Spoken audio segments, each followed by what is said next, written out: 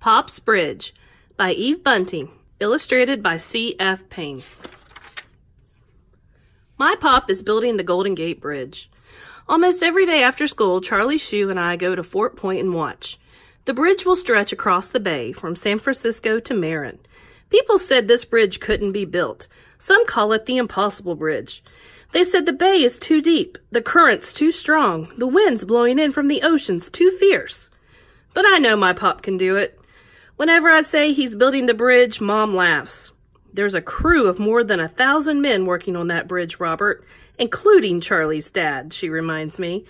I know that, but I just shrug. To me, it's Pop's bridge. Pop's a high iron man, balancing on the slated catwalks, spinning and bending the cables. He climbs so high that sometimes clouds come down around his shoulders. When the fog rolls in, he disappears completely. That's why the high iron men are called skywalkers. Charlie's dad is a painter. The painters start work long before the bridge is even finished. My bop says if it weren't for them, the bridge would rust away. But I think he's just saying that to be nice. The skywalkers have the most important job of all. At Fort Point, I look for Pop through the binoculars Mom lends me. The workers look alike in their overalls and swabby hats, but I can always find my Pop because of the red kerchief he ties at his throat. It's our scarlet signal. I don't worry much about him on days when the sun sparkles on the water, when sailboats skim below. It's so beautiful I can forget that it's dangerous too. But when the wind blows through the Golden Gate, the men cling to the girders like caterpillars on a branch. On foggy days, my hands sweat on the binoculars. Where is he? When I find him, I try not to look away, as though the force of my eyes can keep him from falling. At my house, Charlie and I work on a jigsaw puzzle Mom bought us. When it's done, it will show how an artist thinks the bridge will look. Charlie and I work on the puzzle most every day. Bending over it, I feel like I'm building the real thing, along with Pop. I'm a Skywalker, too. We're almost done, Charlie says. I wonder which of us will put in the last piece. I shrug. What he says makes me think. My Pop built that bridge. He should set the last puzzle piece in place. That's only fair, even though Charlie might think his dad should do it. When Charlie isn't looking, I slip one of the puzzle pieces into my pocket. Later, I hide it in my room. I'm saving it for Pop.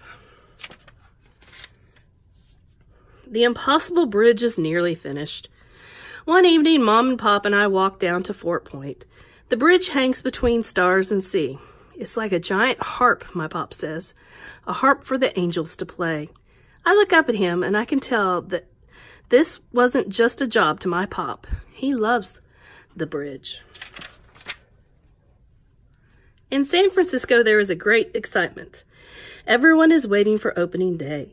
Charlie and I have watched nearly every bit of the bridge go up. We watched the two spans come together from opposite directions. We saw them meet. We saw the roadway go in.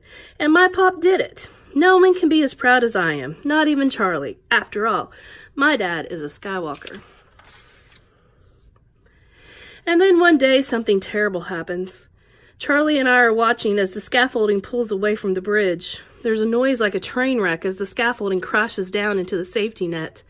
The net tears loose, and men go with it into the swirling tide. I can't breathe. I can't think. But then I look hard through the binoculars and see Pop still on the bridge, his red kerchief whipping. Pop, I whisper in relief. Beside me, Charlie is screaming, Where's my dad? Where's my dad? We had seen him working close to that scaffolding. I can't see him now. We'll find him, I promise. We have to. I swept the binoculars up and down the bridge cables, looking at every painter hanging high on his Jacob's ladder or swinging in a bosun's chair like a knot on a rope.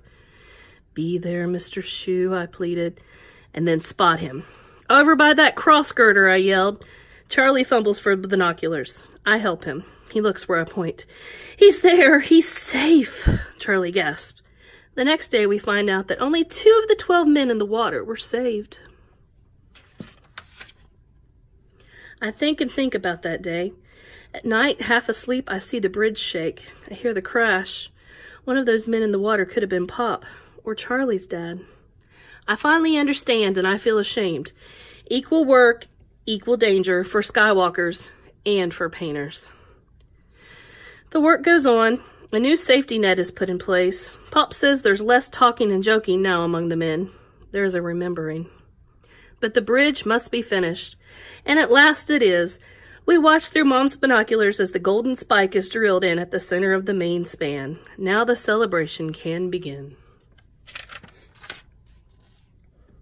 On opening day, no cars are allowed. Thousands of people walk and dance and roller skate across the bridge, including us. I wear Pop's kerchief around my neck. There's a man riding a unicycle. There's another one on stilts. Navy biplanes fly above the great steel towers. Battleships and cruisers sail below the bridge and into San Francisco Bay. Wind strums its music through the stretch of cables, and I think of my Pop's harp.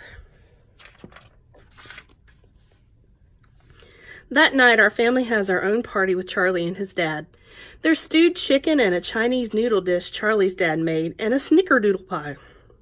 The jigsaw puzzle sits on the coffee table with a gap in the middle.